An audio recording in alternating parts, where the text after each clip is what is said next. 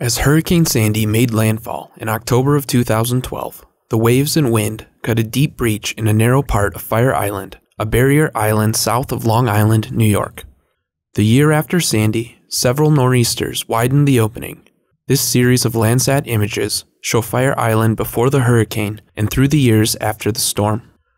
Breaches are natural barrier island features, and they can change flooding risk to coastal communities the Fire Island breach provided USGS scientists with an opportunity to study this natural process in depth.